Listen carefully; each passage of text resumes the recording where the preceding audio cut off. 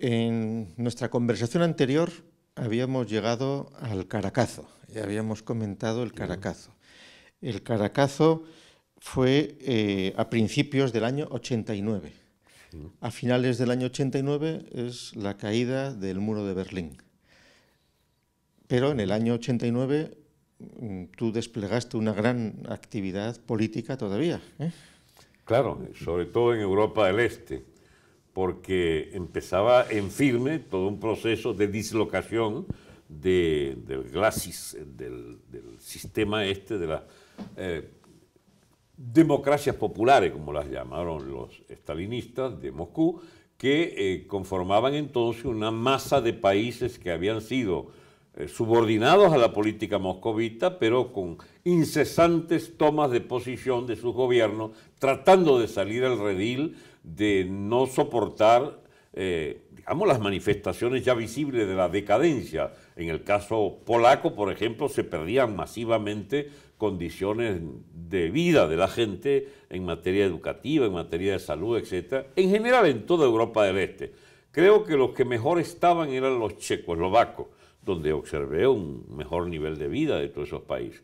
Berlín y Berlín Oriental y, Alemania era, era una incógnita porque se supone que había todo eh, mejor que, los otros porque por efecto de la vitrina occidental tenía que ser compensada con un nivel de vida adecuado en, Alemania Oriental, eh, pero es un hecho que aquello era el, el espejo, la, vitrina de aquella sociedad gris, cerrada, policial, que uno percibía apenas llegaba a Berlín. Yo fui a Berlín dos, tres oportunidades antes de la caída del muro y había una efervescencia muy grande de sectores juveniles, pero la gente no puede hacerse la idea de que aquello era una, un llamado de, de grandes organizaciones estudiantiles o, u obreras que quisieran un relevo político eh, hacia, por ejemplo, la socialdemocracia obrera o algo así por el estilo, en la tradición socialista tradicional alemana de un siglo antes. No, aquellos eran factores más bien descompuestos de la juventud, todos con la manía más o menos hippies, tardías, todos con formaciones de, toda clase de clubes eh, que tenían más bien lo peorcito de Occidente era lo que se colaba hacia Oriente y daba forma a esas manifestaciones de rechazo al totalitarismo gubernamental, pero que tampoco era ninguna gran esperanza para los sectores laburantes o para la mayoría obrera del país.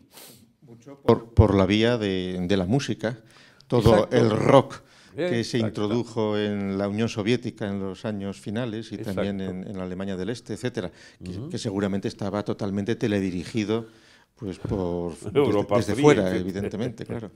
Sí, Occidente entró mucho antes que sus formaciones políticas, entró por la vía cultural, para llamarla de alguna manera, de estos tipos de mensajes, ¿no? de, de estos factores mediáticos que incidían ya en las discusiones de los jóvenes, etc.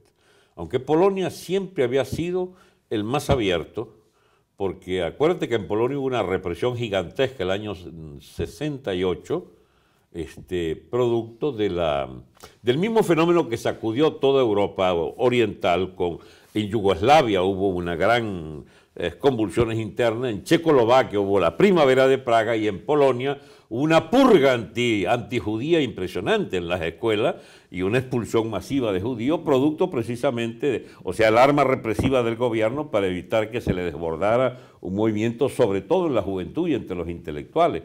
Y allí en ese movimiento del 68 está el germen de lo que será eh, los intelectuales pro solidaridad y la juventud eh, militando al lado del movimiento obrero que estalla en diciembre 70, enero 71, con la huelga de los puertos bálticos. Vamos a ver, yo creo que en la entrada que hay en la Wikipedia que se refiere a tu persona o en algún sitio así, mm, parece que se presenta una transición inmediata de la ideología de Franceschi que abandona lo que dicen la extrema izquierda trotskista y de repente hay una conversión. Ese proceso evidentemente fue un proceso más lento que coincide con tu vuelta a Venezuela desde Argentina, pero también el año que pasas fundamentalmente en Europa, en el año 89, mm, pero luego, eh, y donde mm, vas a comenzar a partir del 90 una labor empresarial eh, en el sector del, transporte, con una empresa de transportes que organizas con tu suegro, ¿eh? y muy, inmediatamente también eh, te vas, durante unos años, vas a ir abandonando la política y a dedicarte a una labor también de, agropecuaria en, la finca El Taque familiar, a partir fundamentalmente del 92, ¿no? Pero, y, y, con más insistencia pues, eh, del 92 al 96 y, y, lo de los camiones del 90 al 96 fundamentalmente, ¿no? El, Pero eh, en este, ya termina creyendo que sabes más de mi vida que yo mismo. este proceso de, de incorporación, de, de, transformación de los 20 años que habías pasado como revolucionario profesional a, a, una tarea de, empresarial y de gestión empresarial de tus propias empresas, el, sin embargo, tres años después del Caracazo, se produce, está Carlos Andrés Pérez gobernando en Venezuela, se produce el fallido golpe de Estado de Chávez el 4 de febrero, ¿eh? el 4 de febrero del 92 a estas alturas tú ya habías abandonado totalmente eh, los vínculos políticos, habías vuelto a Argentina. ¿Cómo, eh, ese, periodo de transición, esa fase de transición de tu biografía y de tus actitudes y también mm, en el contexto del golpe frustrado de Chávez, por el cual es encarcelado, etcétera, etcétera, y, que se produce tres años después de Caracazo, tuvo que ver una cosa con la otra. Glosa estos años. Ya.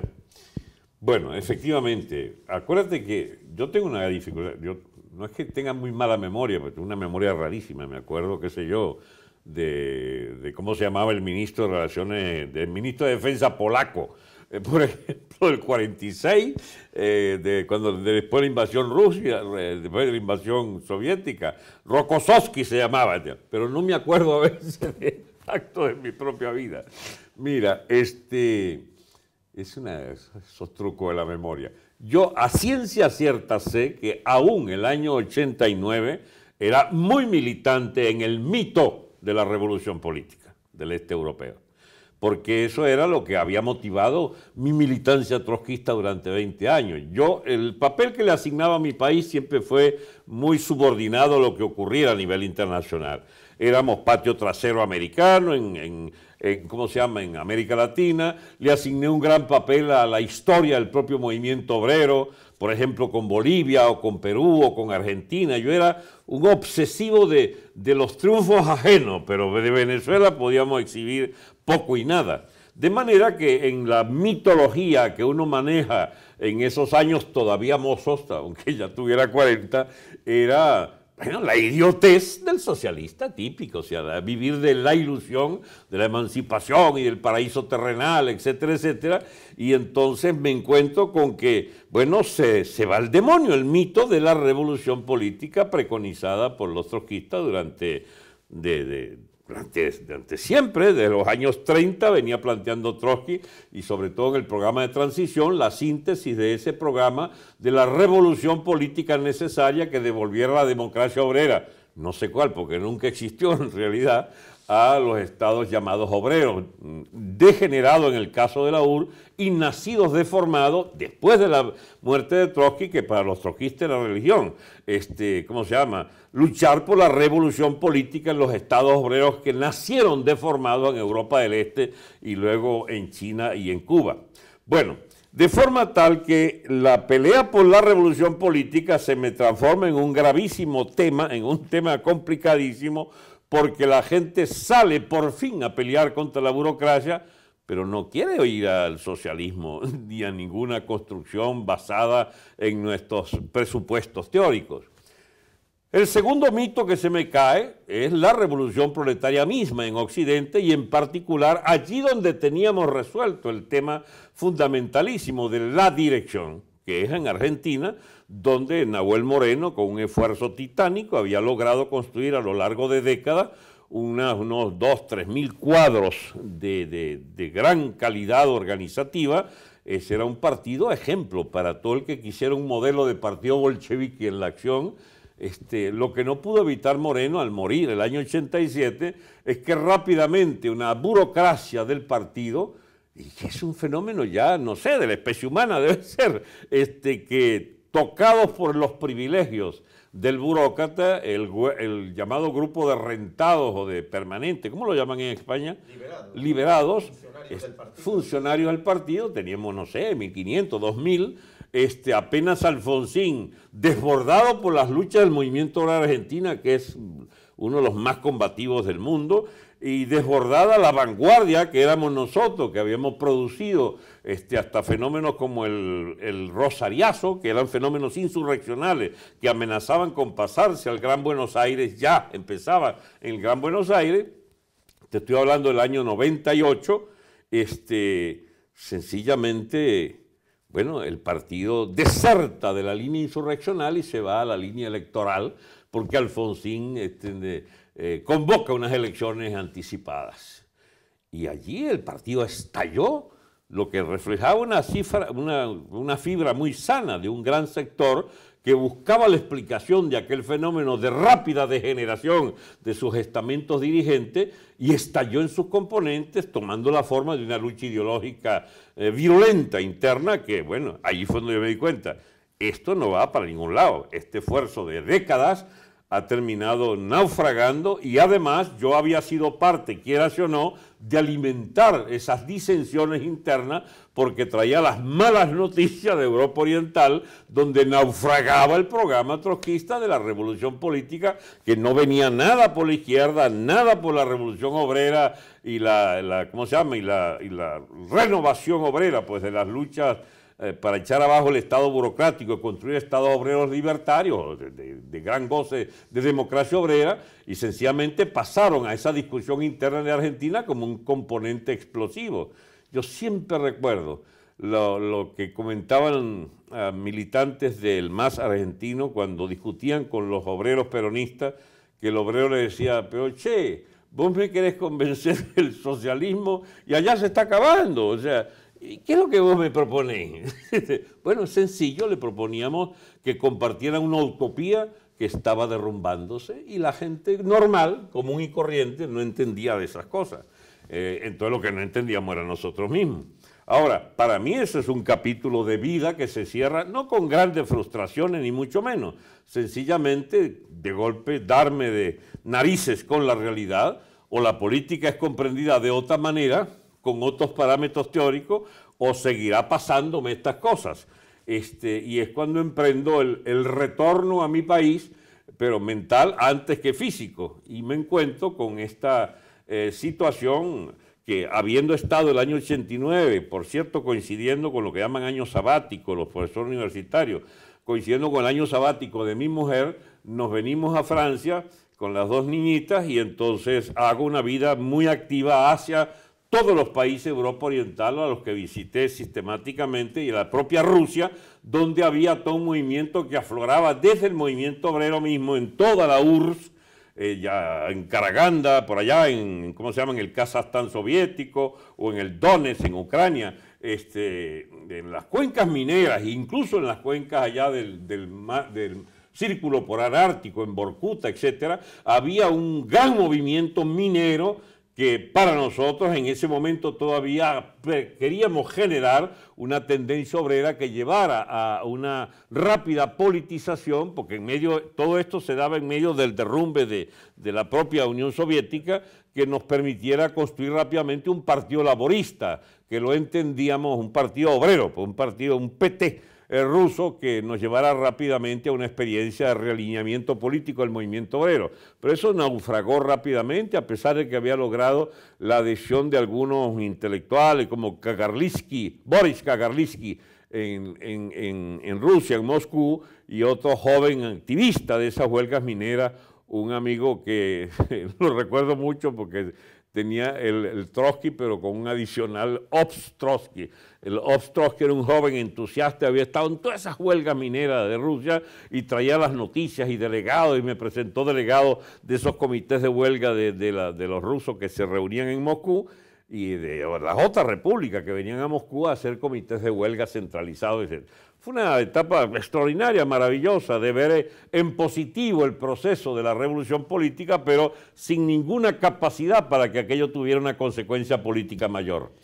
Y en esa etapa, en el, en el 89, cuando estás viajando por Europa, por Polonia, etcétera, ahí representas a la LID directamente. Sí, la Liga Internacional de Trabajadores. Pero, desvinculado del Partido Socialista Argentino. no, no, no, no, éramos parte de eso. Porque, porque todavía seguía la sede de la LID en Buenos Aires. Sí, seguía ya y yo tenía una, una, era un presupuesto mínimo, pero que lo sufragaban los, los partidos nuestros, eran unos treinta y tantos, casi cuarenta eh, partidos y grupos, y yo estaba emplazado en Europa, particularmente en París y en Madrid, para ayudarme también con los grupos de Europa en, este esfuerzo. También ayudaba en la asistencia a los partidos de la propia elite en Europa. ¿Y orgánicamente qué, posición ocupabas ahí? Era de... Enviado... En Venezuela resolvemos eso muy fácil llamándolo el cogollo. Era del cogollo, del, del Comité Ejecutivo este, del secretariado de la LID. O sea, éramos unos cuatro o cinco tipos que estábamos allí. ¿Y tú tenías que reportar a la LID? Claro, regularmente, regularmente, Informes, etcétera, ¿no? Solo que ellos esperaban siempre buenas noticias y yo no sé, parece que los he frustrado siempre porque le llevaba era el impasse absoluto del programa, que no podíamos responder a los enormes desafíos.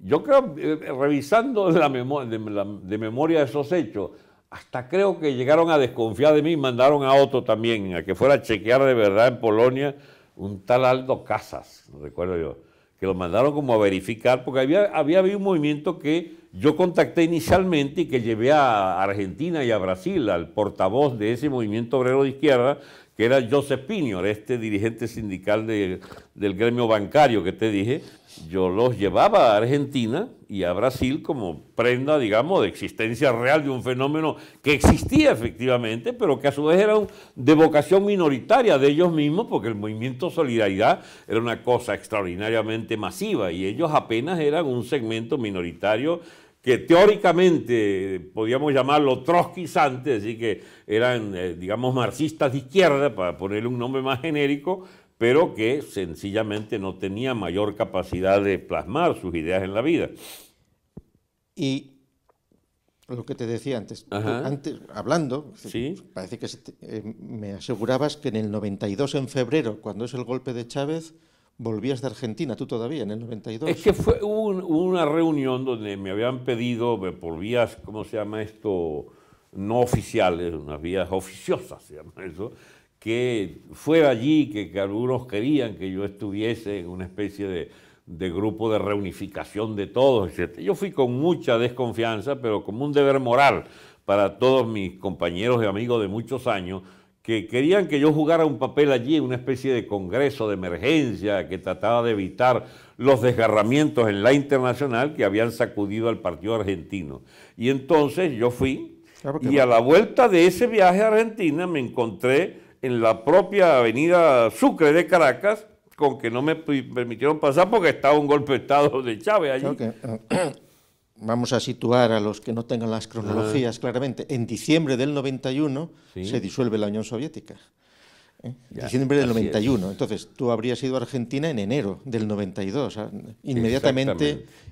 ¿El golpe de Estado de Yeltsin es el 91? ¿Diciembre del 91? ¿Pues es en agosto esto? No, no, no, no, me refiero. El, acuerdo de Belavetsa, el 8 de diciembre del 91, de disolución de la URSS, que es ratificado en Almatá ah, en diciembre del 91. En Bielorrusia. Sí, sí, eso es cuando, se, cuando se ya desaparece formalmente la Unión Soviética. Y el, no, y él sí ya estaba desde un poco del 91, vamos. Entonces, tú cuando estás, cuando vuelves de Argentina a esa reunión de urgencia es eh, eh, fue en enero del 92, un mes después, que, sí, que seguramente tenía sí, es que mi vida en esos meses está asignada porque todo aquello que en lo que caíamos hacia Europa del Este, Rusia, etcétera, se fue al demonio. Y había una necesidad de reelaborar todo. Yo no podía, había muerto Moreno, que era un poco el que tenía en la cabeza todas estas cosas de, gran altura, de, de, gran desafío teórico, etcétera pero ahí perdimos todo, la, orientación es básica. Y teníamos que perderla, pues si no éramos capaces de interpretar que aquello había históricamente naufragado como corriente política, este, mira, yo el único acierto que yo puedo decir que lo tuve es que presagiaba o prefiguré en mi cabeza que aquello se iba todo al demonio, que no había sino que lo que quedaría sería una lucha de fracciones hasta la extinción de muchas pequeñas tendencias, sectas, exacto. Y, incluso yo lo había vivido, no porque, qué sé yo, eh, yo lo había vivido de alguna manera con la crisis del propio MIR en Venezuela, que un año antes, el año 90, 89 y 90, había, había, hay una regla básica de las crisis que después de las dos grandes o tres grandes fracciones, eh, la fracción mayor es la que se va a la casa. Es decir, y eso fue lo que le ocurrió al trotskismo, al MIRA, a todo grupo donde hay una gran crisis, donde hay facciones que se embanderan y creen que están ganando unos u otros, en realidad deberían sacar la cuenta de los que se decepcionan y aprovechan países para la casa definitivamente. Y eso fue lo que le pasó al trotskismo, que el 90% de la base militante se fue al demonio, se fue a su casa, dejó la política incluso, entre ellos yo. ¿Mm? En un proceso que va del 90 al 92, más o menos, ¿no? Antes, del 88 al 92, 3, 4 años de, imposible reacomodación. Pero donde ya a partir del 90 has dejado de ser revolucionario profesional y te has convertido en empresario en el sector del transporte. no es, que, no es que me asuste la palabra empresario. Bueno, empresario. Es que... A ver, cuenta cómo fue eso. Actividad privada. Una actividad privada es dejo de ser militante. Ahí estás en un acierto fundamental. Los empresarios hay que esperar un poco porque tenía que haber una acumulación primitiva. No, hay que, no, no, no. y además, me consta, porque lo hemos hablado, que em, tu suegro había abandonado, em, se había jubilado de una empresa de transportes y tú le propones reactivarla. Volver otra vez. Reactivarla. Y entonces... Eh, Con el know-how de él, que era muy bueno, y las relaciones de él, que eran excelentes en los gremios empresariales de Valencia. ¿Y tu gestión? Y mi gestión era la tenacidad de alguien que quería eh, generar unos recursos para su familia y para sí mismo. Y, donde, y donde, además eh, te preocupas por lograr que los empleados o colaboradores que trabajan contigo pues acaben siendo propietarios de sus propios camiones, ¿no?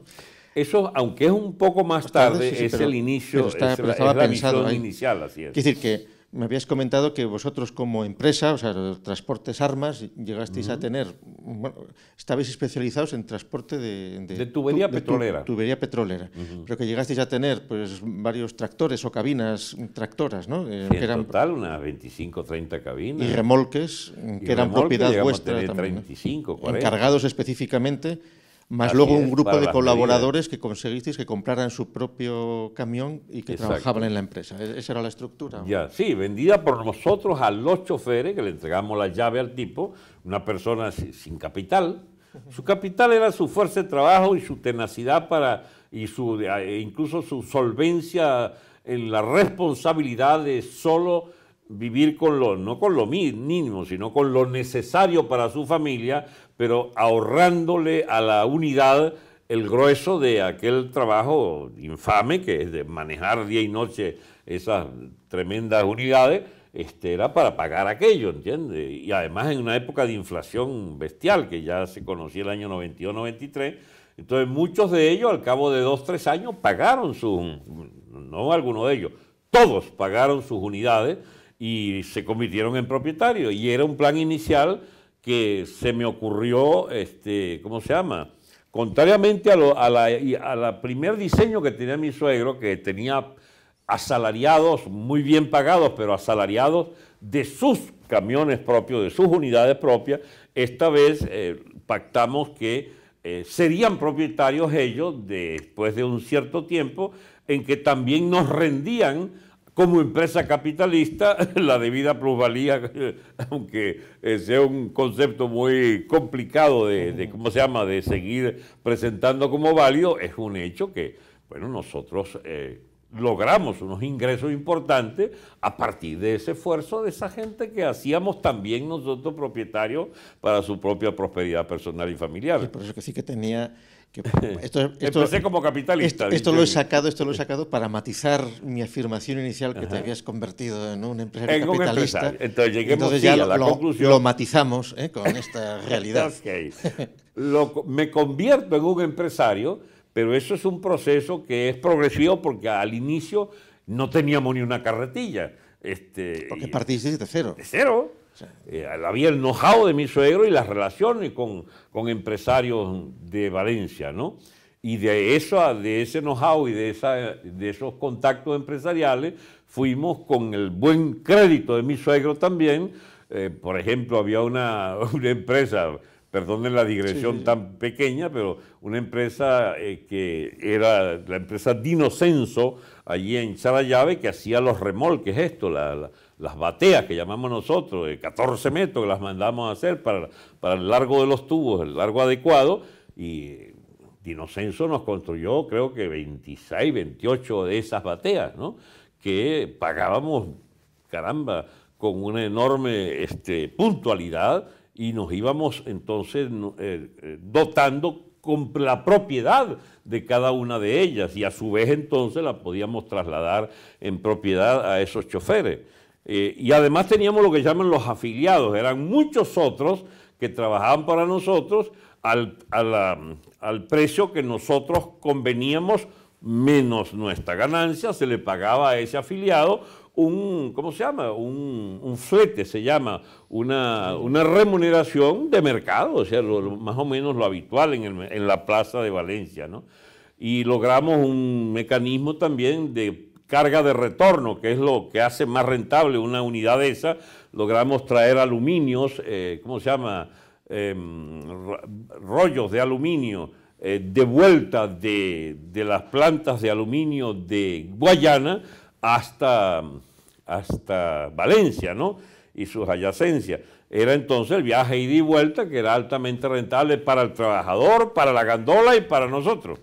Y eso durante varios años me fue permitiendo acumular una, una, una, porción interesante de capital que, yo iba invirtiendo en la finca, eh, que había, papá había muerto y la finca la había, se había abandonado y yo la recuperé con una tenaz inversión durante cinco o seis años. Sí, habíamos hablado antes que curiosamente tu padre murió justo cuando tú estabas en Córcega. Claro, el 89. En esta estadía en Europa, donde yo me vine con mi esposa Edelmira, y las niñas, yo fui a, Córcega, ¿no? Y allí llegué el día en que murió mi padre, una cosa curiosa, ¿no? En, el 89 es eso, ¿no? Ah, bien, cuando llega entonces la etapa de, invertir en la finca, es ya a los dos, tres años de muerto papá, que podía, quedó al garete aquella finca, yo monté una especie de compañía de toda la familia, donde más o menos este, me concedieron poderes monárquicos, era el único que podía invertir, o quiso invertir, mejor dicho, porque habían varios que podían, pero fui yo el único que invirtió, y entonces allí este, hice una enorme casa de 10 o 11 habitaciones, con su baño cada una para la, para la familia de los hermanos. Este, uno dijo que no iba porque no tenía mar, aquello. que aquello era... ¿Eh? Recordemos, eran los terrenos que tú de niño habías querido repartir. ¿no? y que felizmente nadie me había caído mi teoría de repartir la tierra. Y que, y que luego fueron repartidos entre los hermanos y un poco los reunisteis de nuevo, los reuniste un poco. Exacto. No, pero eh, a ver, aquella finca, aquella finca eran todas las fincas de los, de los primos y familiares, ya incluyendo la de mi propio padre. El taque se llamaba. El taque es, digamos, la parte que le tocó a mi padre, bueno, así se llamaba también los alrededores pero la que le toca a mi padre ya era apenas entre todos los hermanos, fue fraccionado eso, y dos veces fraccionado, entonces quedaron 52 hectáreas, algo así, que es la que termino yo administrando. Ojo que 52 hectáreas en esa zona, que es de tierra a uno de altísima fertilidad, y además yo le, le recuperé unas lagunas que había hecho papá, y había y había además construido un pozo de profundidad que producía cuatro 4 litros por segundo, es una cosa excepcional ¿no? en esa zona. Y entonces me permití durante 6, 7 años, eh, eh, ¿cómo se llama? Proponerme a, establecer una factoría agrícola, de producción agrícola, y luego la complementé con cría de animales, cerdos, etcétera, y llegué a tener más o menos con, con sociedades, con cuñados, etcétera, una empresa del orden de un millón de dólares más o menos en, en activos, ¿no? Pero eso, mientras el chavismo acababa con todo y acabó con la finca también, pero eso ya es otra historia, ¿no? Ahí, ahí teníais tomate, papas, pimentón, todas estas cosas, ¿no? Qué de detalle. Y en el sector de, de los cerdos, pues hasta 600 madres. ¿eh? 660 madres. llegué a tener. Que eso supone al año una producción. Eso supone con una tasa de, de partos de 2.2 por madre eso eran, no sé, 12, 13 mil, 0, 14 mil, este, porque eso son, eso se habla de al destete, o sea, cuando ya los chiquitos se los quitas a la madre, ya no siguen chupando de la teta de la madre, eso puede darte una, un número de 10, 12, 10, 11, 12 de los 16, 15, 14 que pueden tener en el parto. Hay una mortalidad lógica y bueno, entonces imagínate, eran, por lo menos yo podía vender a los 6, 8, 10 meses que empieza el ciclo completo, de, porque hay un número que quizás no sepa, una, una, una cerda pare desde su fecundación a los 3 meses, 3 semanas, 3 días. Y entonces habían esos partos que me permitían a los cinco meses entonces vender cerdos. Ah, y dura cinco meses el engorde, ¿no? Propiamente dicho, desde el momento del nacimiento hasta que van a matadero. Este, eso suponía más o menos unos 220, 230 cerdos por, por mes, por semana, perdón. Por semana. 800, 900 cerdos por, por, por, mes, ¿no? Y hasta mil cerdos por mes. Este, era muy rentable aquello, pero se acabó, porque el chavismo mató las, las, ¿cómo se llama? las fábricas de alimentos para animales. Tú puedes con uno o dos cerdos alimentarlo con sobras de, de hortalizas, de mercado, etc. Pero cuando tienes dos, tres mil cerdos chillando a las seis de la mañana que le den de comer, o tienes un alimento industrial de, de Pélex, de eso, por sacos y sacos, o a granel, como ya yo lo tenía instalado, este, eso es imposible. Si no tienes eso, estás liquidado. Entonces, si cuando fue el golpe de Estado de Chávez del 92 todavía volvías de Argentina, mantenías algún vínculo... No, pero fui unos días, unos meses. Bueno, sí, pero tenías todavía... Lo, que fue tu último viaje allí, ¿no? Así es. Por ejemplo, para poner otra fecha simbólica, cuando el 20 de mayo del 93 eh, Carlos Andrés Pérez es destituido, ahí ya estabas, tú estabas dedicado a la finca. ¿eh? En la finca y... la finca y a los camiones. Y desinteresado a la política. Desinteresado cuando se elige a Caldera en el 93. ¿eh? En el 94 Caldera libera a Hugo Chávez. Hugo Chávez comienza a poner en marcha el movimiento Quinta República. ¿eh? Desinterés completo. está desinteresado. Pero dos años después, 96-97, cuando te acercas a los 50 años, eh, te llama la atención la labor que como gobernador de Carabobo ha hecho Enrique Salas Romer, ¿no? Así es. ¿Cómo fue ese acercamiento? Ese, Por vía doble. Primero, la, visualización de la obra de este hombre, ¿no?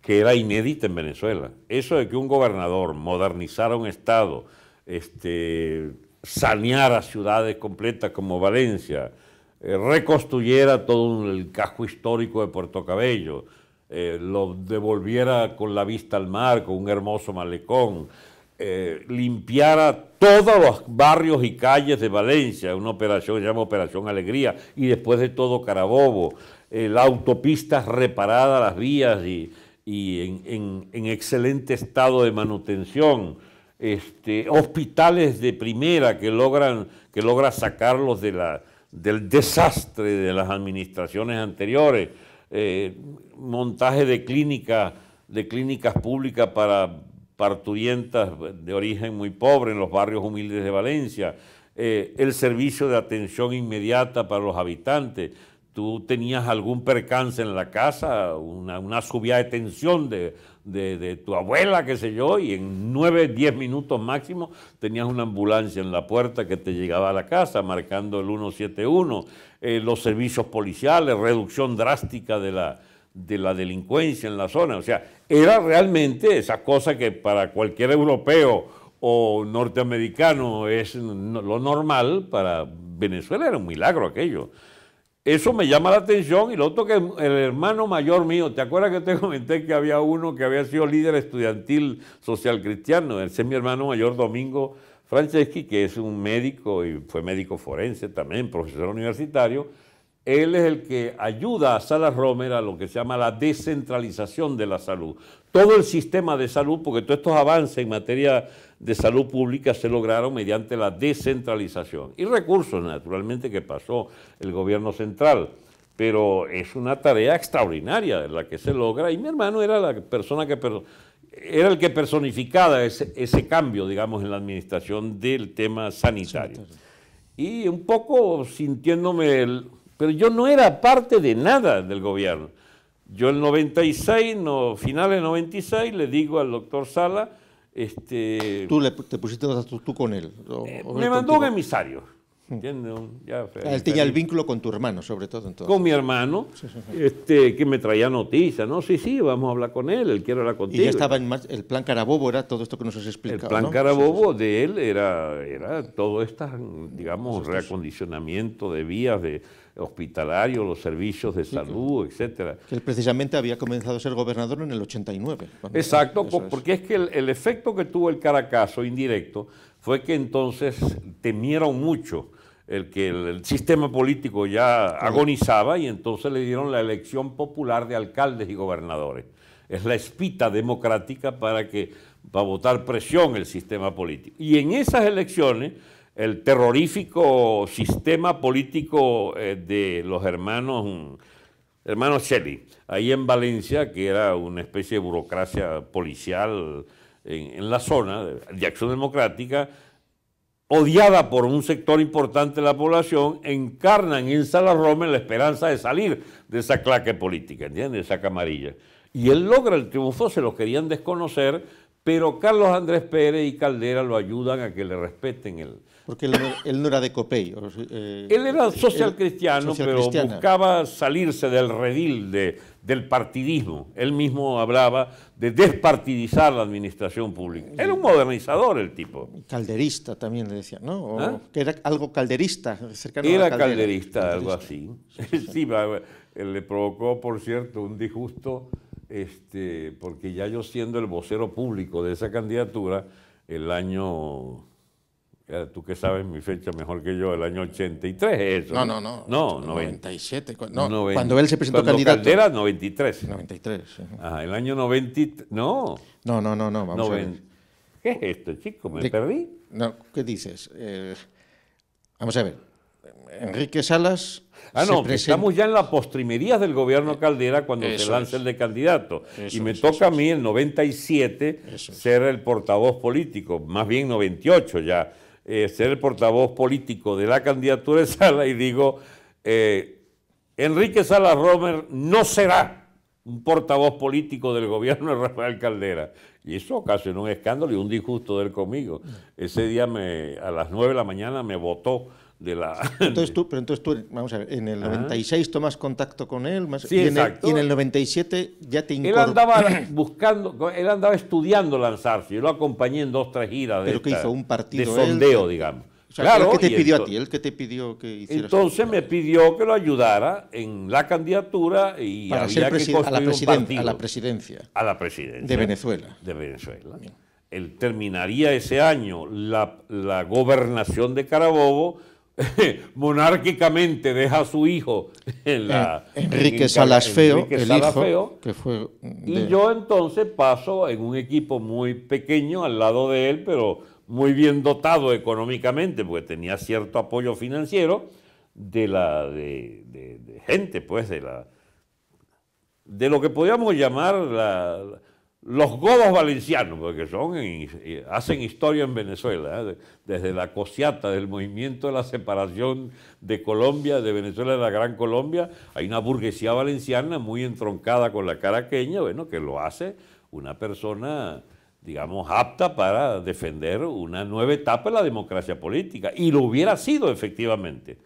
Entonces yo lo, yo lo, lo percibo como un reformista, un, tipo que puede hacer una buena labor y que, bueno, ya que no fue posible el socialismo y las revoluciones, que sean viables las reformas, que las estoy viendo, de mejoramiento de la calidad de vida de la gente, me propongo acompañarlo, él acepta y entonces me asigna la tarea de elaborar todo un, argumentario, una, una base argumental y teórica para un nuevo partido que, no era partido, era una especie de movimiento de, ciudadanos que él que llama Proyecto Venezuela, basándose en la idea de que él había hecho un proyecto Carabobo, que ya era un partido clientelar, que era o no, y se trataba de que yo armara entonces una clientela nacional.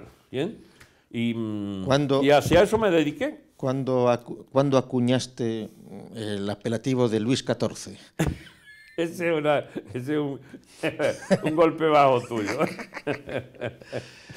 No, me acaba de Antes o después.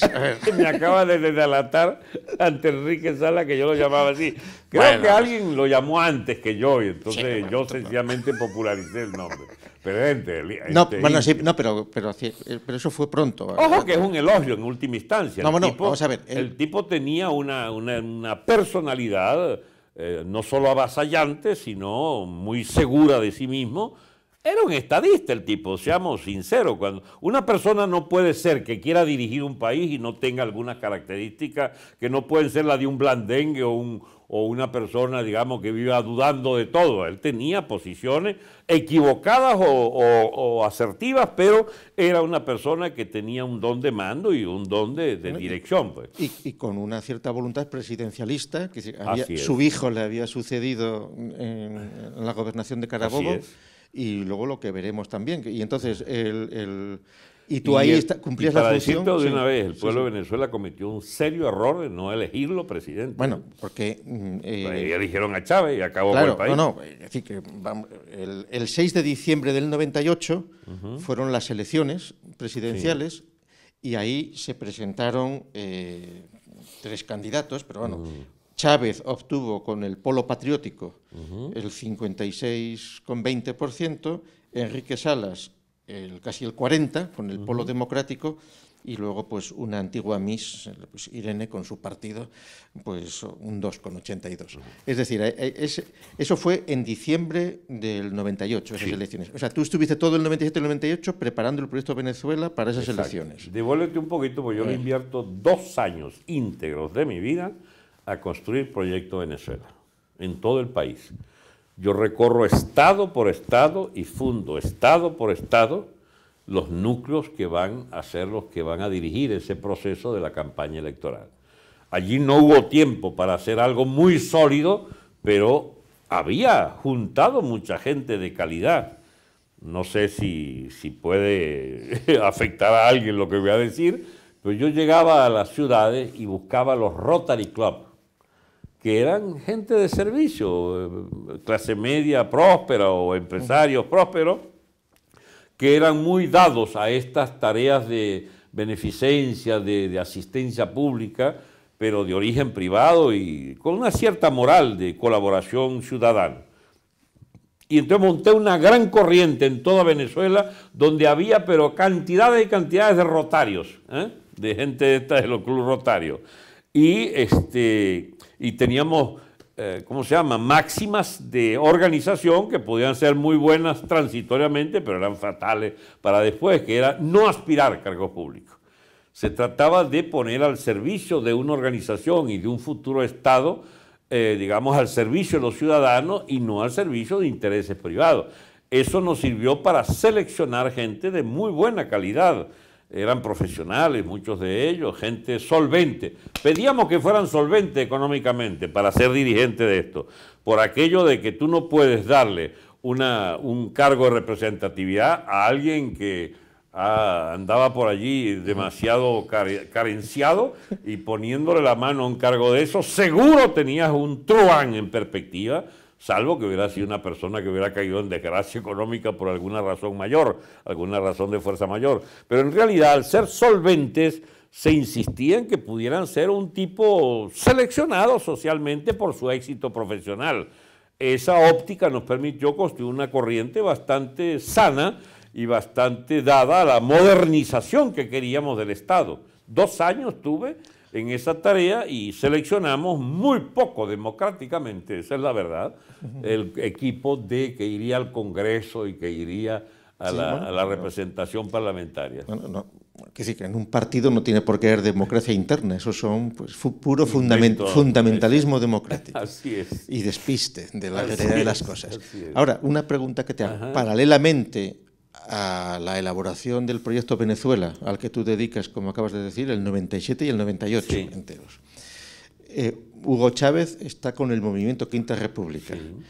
Mm, a cara a las elecciones, ellos, Hugo Chávez, se llaman Polo Patriótico y vosotros, que sois poco democráticos, Polo Democrático. ¿eh? Esto entre, yo no recuerdo que hayamos llamado Polo Democrático. Nos llamó la prensa, sí. Os llamó, no, no os llamabais. No, no. Entonces, como éramos Proyecto Venezuela. A las elecciones fuisteis como Proyecto Venezuela. Así es. O sea, que eso fue la cosa de la prensa, entonces. Eso fue una, una cuestión mediática. Lo que sí es cierto es que la propia prensa montó sus códigos, ¿no? Es que... ¿Cómo estaba? O sea, ¿por qué no reconstruyes, intentas reconstruir en el 97-98? Claro, ¿dónde habían quedado Copellanos, Adecos, Chávez, Movimiento Quinta República, la prensa? O sea, e, e, ese panorama antes de las elecciones que gana Chávez. Ok. Acción Democrática conoció una especie de crisis larvada permanente. Había aguantado sobre la base de una férrea conducción de a quien ellos llamaron el caudillo, señor Luis Alfaro Cero, que dominaba el aparato del partido y, bueno, toleró allí algunas disidencias muy limitadas hasta que, bueno, resolvió la gente asfixiada por aquella tutela burocrática del señor Alfaro, más o menos marcharse. Fue el caso de eh, eh, Alfredo, ¿cómo se llama? El doctor Fermín. Eh, Fermín, que, que sería la postre que había sido candidato presidencial, pero ya se hacía asfixiada la situación interna para continuar aspirando a ser el líder del partido, porque era la tutela del grupo de Alfaro Ucero. Bien, la democracia cristiana, Caldera la había dejado destrozada con la fractura en las elecciones presidenciales donde hay un candidato del partido que sería el señor este... Eh, Basta que me quiera con el nombre, ya lo pierdo. Bueno, Osvaldo Álvarez Paz, un zuliano, y entonces, eh, bueno, naufraga porque Caldera, o sea, los socialcristianos producen dos altas votaciones eh, en esas elecciones, Caldera y el propio Álvarez Paz. Y gana Caldera y todavía hay sospechas sobre la legitimidad, porque hay una cosa curiosa, el Consejo Nacional Electoral le pone a Fermín, y a Osvaldo Álvarez Paz una cantidad de votos exacta. Dios mío. La armonía democrática. Pero lo más eh, complicado es que al señor eh, Andrés Velázquez, que de haber ganado Velázquez le hubiera habitado a Venezuela el chavismo, era un tipo de proveniencia de izquierda, eh, laboral, laborista, de, había sido dirigente sindical en Guayana, este, que de haber ganado Velázquez hubiera hecho un gobierno centroizquierda, entiende que hubiera quizás canalizado eh, mucho de las angustias sociales que ya afloraban en, forma de crisis. Pues bien, alguien decidió que era Caldera y que Velázquez lo mandaron al cuarto lugar. Bien, había una sensación de que hubo un fraude masivo contra eh, Andrés Velázquez. en esas elecciones del ¿Qué sistema electoral se utilizaba, digo, técnicamente? ¿Papeletas o ya estaba con una cosa electrónica? Todavía no, eso fue un invento después de... Era, era, era, mitad electrónica, pero había una especie de boleta que pasaban por una máquina y la máquina leía. Habían lectoras ópticas de una, de una papeleta común a todos los partidos que al meterla allí tú habías previamente marcado un óvalo de, al lado de tu candidato, entonces la máquina leía. Leía, sí, sí, sí. Eso se presta para toda clase de cosas. Por cierto, una empresa de tu, de tu nacionalidad, Indra, era la que dirigía ese Indra, proceso. Indra, que es una importante empresa vinculada al sector público en España por una parte y a la familia Marx por otra, y con otros inversores norteamericanos, etcétera, pero y, y- y que está en la industria. Yo con Indra tengo un militar. pleito. Cuando de años después yo fui candidato a alcalde de Baruta, en Bueno, el de eso sureste habla- hablaremos, pues sí, sí, hablaremos. Sí, sí, hablaremos, hablaremos. Yo saqué con Indra 65 mil votos del millón 200 que saqué a nivel nacional, millón 300. En el, de ese municipio saqué 64 mil votos. Y a los ocho meses, mm, para favorecer a Caprilito, me pusieron 3 mil a mí. Tumbaron 61 mil votos de, de preferencia. No sé qué pasó, siendo yo el principal líder de la oposición. Habl- hablaremos, Hablaremos, hablaremos, de, esas oscuras, Ay, Dios mío. oscuros recuentos electrónicos. Tu Indra, Dios mío, si la conoceré yo. Entonces, eh, ¿cómo se había ido el Movimiento Quinta República? eh, o sea, en esos dos años. Ah, ya va, que te- tú ¿Cómo- estás pidiendo un, un muestrario de los partidos. Sí, no, no, claro, no, y las- y Copey los llega vin- y los entonces con su candidato, que Copey no llega a ganar, gana Caldera, que es una escisión demócrata cristiana, se queda en el camino entonces Acción Democrática, este, y había una...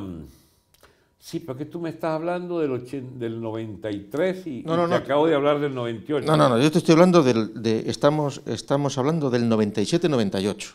No, esa es la última. Bueno, la- Caldera está lejos Ah, del no, es que- 93. sí, bien, bien, que te habías ido a hablar del 93. Te habías. Exacto. Vale, vale, bien, vale. El 93 le hacen fraude a Sí, Velázquez. y gana Caldera en el 93, vale. Gana Caldera. Bueno, pues. eh, sí. Dividiendo su propio partido a quien sacan del juego con la candidatura de Álvarez Paz. Bien, es- Ok. al poco de tomar posesión Caldera, pone en libertad a Chávez. ¿Cómo se entendió Así eso? es. Se entendió como que eh, lo último explica lo anterior. A nadie le vas a quitar la cabeza en Venezuela que eh, Caldera estaba en el golpe de Chávez y que un sector de la élite caraqueña estuvo, lo llamaban los notables. Eso es medio injusto decir que estaban en el golpe, pero había complicidades políticas de esa aristocracia social cristiana en el golpe de Chávez en Caracas y en otra ciudad del país. Entonces, cuando pierde Chávez, pierde el solo, por cierto, porque los otros comandantes fueron exitosos, pero los sorprende Chávez por televisión, por ahora no hemos logrado los objetivos y se entrega. Mira, ese es uno de los golpes, ese es uno de los episodios peor estudiados de Venezuela, porque hay quien sostenga, como el almirante Mario Iván Carratú, que es mi amigo, este, que era el jefe de la Casa Militar de Carlos Andrés Pérez en Miraflores, Carratú sostiene, pero con minuciosos detalles, que el ministro de Defensa, este, Ochoa Antich, general Ochoa Antich, estaba también en el golpe. Y que hay incluso varios comandantes del ejército, previos a Ochoa Antich, o, o de la época en que Ochoa Antich fue ministro de Defensa, que todos esos jerarcas del ejército eran cómplices de Chávez que era una especie de niño díscolo, de, de dirigente díscolo allí, de la, de, lo cambiaban de sitio, etcétera, pero que ha debido estar expulsado la Fuerza Armada dos, tres años antes. Y no solo no lo estuvo, sino que lo acercaron a Miraflores. El presidente Lucinchi cuenta, yo sí veía un tipo que andaba por ahí como preguntando mucho, y era Chávez, que me lo tenían en Miraflores. Dice Lucinchi, este, tres años antes de que, de que Chávez diera el golpe. Eh, Lucinchi fue el candidato, el presidente de Acción Democrática anterior a Chávez, a, a- a A Pérez. Entonces, esta figura de Chávez como conspirador de lo que era una resistencia de segmentos de las élites al gobierno de Carlos Andrés Pérez, eso está demostrado. Es un hecho histórico ya más que, más que visible. Eh, para quien quiera honestamente ir a la historia de Venezuela, hay un libro que se llama La rebelión de los náufragos, eh, que plantea las condiciones en las que se da ese golpe de Estado por disidencias muy fuertes de la, de la clase capitalista caraqueña, de, la, de los representantes de las clientelas partidistas y de las cúpulas militares que todas todas son afectadas por el gobierno de Pérez en el primer año de gobierno y se lanzan a la, actividad golpista. Pero en ese momento del golpe, Chávez ya es un líder, él. Era un líder de... Alguien cuenta una anécdota. no, es que le buscaran a él como, Era un líder de la escuela militar o de varios segmentos de cuarteles del interior. Él se dedicó a conspirar tres, cuatro, cinco años, tuvo este tipo conspirando. Lo raro es que no lo detuvieron nunca, sino cuando ya estaba fracasando su propio golpe que había montado. Ahora, este es el problema de, ir atrás y adelante, la gente se me puede confundir.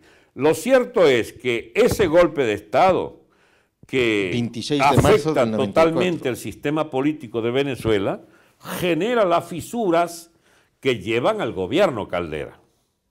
Porque a Carlos Andrés de todas maneras lo sacan, pero es una especie de golpe frío, de golpe civil, que es el enjuiciamiento ante el Tribunal Supremo de Justicia y el propio Senado. Y su propio partido lo execra y lo sacan de la presidencia por nueve meses antes de terminar su mandato.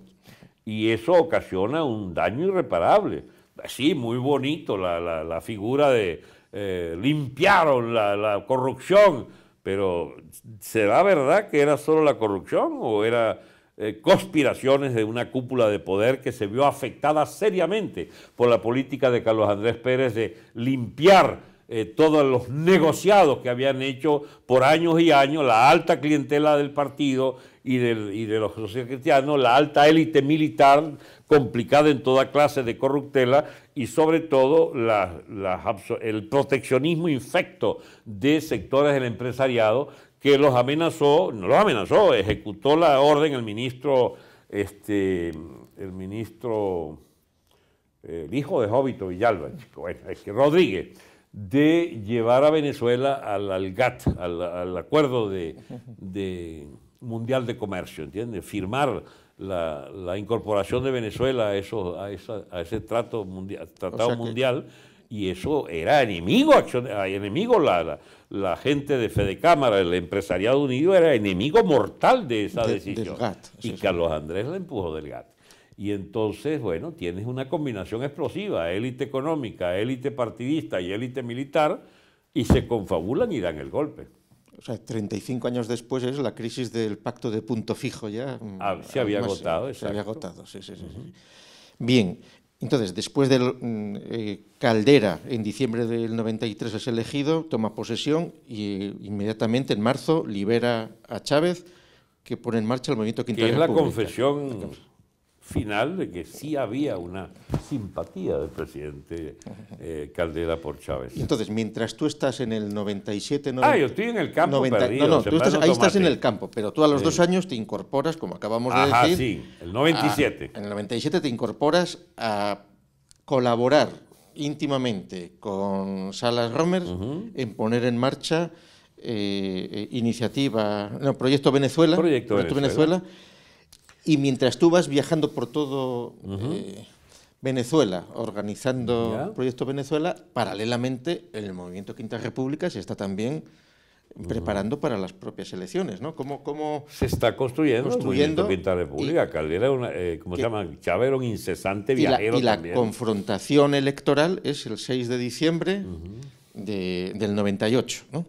¿Cómo recuerdas tú la dialéctica entre el Movimiento Quinta República y, vosotros, y Proyecto Venezuela? Mira, casi que nos ignorábamos. Este, ellos hacían su cosa y nosotros no podíamos creer. Chávez estaba en 2% en las encuestas y Salas Romer en 1%. Eso es a principios del 98. ¿Y los otros candidatos quiénes eran entonces? ¿Quiénes son? Irene Sae arropaba con 60% en las preferencias, la ex Miss. Es Miss Universo. Sí, es, la frivolidad como país. Hombre, Irene, Irene eh, había hecho un movimiento que se llamaba Irene, como ella misma, que era eh, integración Renovación, Nueva Esperanza. Lo sabrás tú, yo no me acuerdo de eso. bueno. Es buenísimo eso, ¿no? Irene, Integración, Renovación, Nueva Esperanza. Ella era... O sea, que esa era, ella, esa era... Alcalde de Chacao, que es una tacita de plata allí en el centro de Caracas, en el, en el este de Caracas, tenía toda la platita allí y le hicieron un municipio para ella, pues. Y entonces la potenciaron, esos eran factores siempre de ¿Sabes? Las mafias de Caracas son quién, terroríficas. ¿y quién apoyaba a la tal Irene, que tenía los más... La... Los socialcristianos de base, este, que, no, que habían fracasado con los dos dirigentes sustitutos de Caldera, que habían sido primero Fernández contra Pérez, lo derrotó Pérez, pero era una potencia, el llamado Tigre, el Tigre. Después Álvarez Paz fracasa otra vez, este, ya contra el propio Caldera en la, en la lucha presidencial, y queda una masa social cristiana al garete y derrotada. Yo recuerdo mucho que, que un dirigente social cristiano, Chiti Larroche, dice, Copein no aguantaría ni un guiño de Irene. este, bueno, ese guiño vino de Luis Herrera, que la hace predilecta por debajo cuerda como de el referente social cristiano. Y bastó que se produjera ese encuentro de los socialcristianos de Copey y de Luis Herrera con Irene para que la hundieran, porque eh, había era una repulsa política al partidismo y ella era la figura antipartido. Y Salas, a su manera, era otra figura antipartido. antipartido. Y qué casualidad, El otro antipartido era Chávez por la izquierda. Si las tres figuras antipartido, primero Irene que sale adelante y fracasa, y después queda Sala Romer y Chávez como dos figuras del, del apartidismo proponiendo una solución de fondo al tema del agotamiento del régimen político de la Cuarta República, del pacto de punto fijo. ¿Y, el, ¿Y qué perspectiva teníais vosotros? O sea, habéis empezado con el 1%, habéis empezado. Ah, bueno, y empieza... Salas era un tipo ¿Cómo, va creciendo muy lúcido en esto del manejo de la demoscopia, ¿no? Tenía una empresa muy, muy bien estructurada, de gente muy competente, y vamos viendo, chicos, décima a décima diariamente cómo aumentaba aquello. Y cuando, es una anécdota, pero para mí valen cuando son vinculadas a la realidad. Por allí en febrero, marzo, o sea, nueve meses antes de las elecciones, me dice Sala, esto va muy bien porque hemos ya llegado al 2,5% y pinta perfecto. Este, y efectivamente, cada 15 días, chico, aquello aumentaba 8, 10, 15, 16, 18, 20, 30, 35%. En la recta final de los últimos tres meses, era evidente que habría un ajuste final entre, entre este, Sala Romer y Chávez. Y bueno, y ganó Chávez porque el grueso de la burguesía caraqueña se pasó a, Chávez. La gente sabe poco de que esa élite que siempre fue parásita del Estado y de los negociados con el Estado, como nosotros decimos, guisadores de profesión, necesitaban quizás a este eh, redentor supuesto de Chávez, con el ojo crítico de Carlos Andrés Pérez, que por supuesto nunca le perdonó que le hubiera tratado de matarlo y tumbarlo, ¿no? Pero Carlos Andrés Pérez dio toda clase de advertencia que era un crimen lo que se hacía de soltar al tipo, de ponerlo en capacidad de hasta ganar las elecciones y pronosticó que iba a ganar incluso. pronosticó que iba a ganar. A, a, Salas se le acusa de ser una persona, y es que en realidad algo lo era, distante y un poco aristocrático, etcétera, ¿no? Este, en realidad lo que no les gustaba quizás a muchos venezolanos es que era una figura autoritaria, ¿entiendes?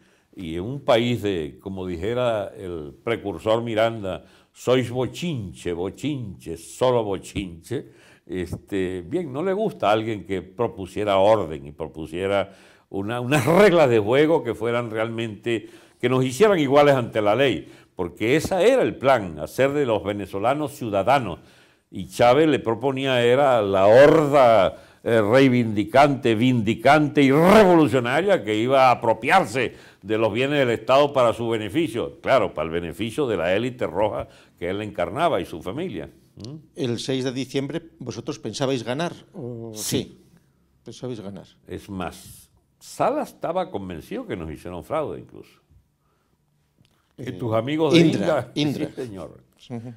Solo que cómo demostrarlo, había que desmontar medio Estado para y hubo incluso serias eh, rumores de golpe. Había un personaje llamado Rojas Pérez, que una vez le increparon de por qué, eh, de que era corrupto, etcétera, porque tenía no sé cuántas vacas y tal.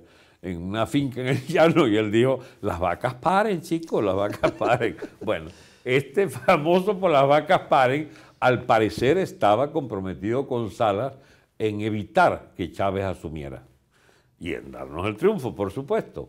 Y, me acuerdo que, bueno, que fue el Carlera el que impidió, porque era su yerno, ministro de Defensa. No, no, apártate de esa tentación, eso nos mete en una dinámica imparable, etc. Pero, ¿por qué no? un golpe para evitarle a Venezuela esta desgracia. Bueno, eh, no se sabía lo que iba a venir, se podía alumbrar. Nosotros sí sabíamos, muchos sabíamos que el chavismo iba a hacer esto. ¿ah? Entonces, eh, para mí hubiera estado plenamente justificado ese golpe, claro. Habríamos hecho el país quizás ingobernable un tiempo, pero se podía evitarle a Venezuela que llegara a la barbarie como está ahora. Bueno, pero vamos a ver, Alberto, estamos hablando hace 20 años. ¿Eh? Sí, pero es que teníamos eso. No, que sí, que sí, pero teníais claro lo que iba a suceder con sí, todo. Sí. Sí. Entonces, y el alerta era incluso de gente distinta a nosotros, como Carlos Andrés Pérez, que pronosticó que este hombre nos llevaría al desastre. Este, escúchame, te estoy hablando de políticos con, con, mucha seriedad. Escobar Salón, que había sido el que enjuició a Pérez, o sea, yo no te estoy hablando de personas, eh, ¿cómo se llama?, blandillos o blanditos. Eh, este Escobar Salón, que había sido fiscal general del país, que fue canciller, este, que estuvo en la acusación a Carlos Andrés Pérez desde la, desde la Fiscalía del Estado. Una vez hace como siete, ocho años me invitó a, su casa y en una amena conversación me dijo, el problema Alberto es que mi verdadera convicción es esta. Fue a la biblioteca y me sacó un librito que textualmente dice lo que me citó, Venezuela, de no si el chavismo gobernara 10, 15 años eh, todavía, me lo dijo hace 12 años, o 9, no, 10 años, este, Venezuela se fracturará como un tronco a la deriva en el mar Caribe, su centro norte costero, un, un tronco a la deriva en el mar Caribe, con todo su occidente perdido con Colombia y su sur y su oriente perdido con Brasil. Esos eran los pronósticos, chicos, de, digamos, de hace 15, 18 años atrás. Los más eh, todavía previsivos, como Carlos Andrés Pérez, y como nosotros, el propio, eh, lo dijo de muy buenas maneras el señor Salas Romer cuando dice, el día que me toca a mí llevarle la noticia que aquello está liquidado, porque yo venía del, Consejo Nacional Electoral, él prepara su, su alocución allí, dice, esto, el, que dirija esto, Chávez o yo, eh, y ahora ha ganado Chávez, va a determinar el curso por los próximos 15 o 20 años. O sea, había conciencia de que habíamos perdido una opción y la que ganó era una otra que para nosotros la destrucción del Estado. Perfecto. Bueno, pues entonces estamos en que se han producido las elecciones del 6 de diciembre del 98, que ha ganado Hugo Chávez y que hay que ver qué se hace. Vamos a hacer aquí un intermedio y seguimos en otra conversación. Bueno, cuando quiera.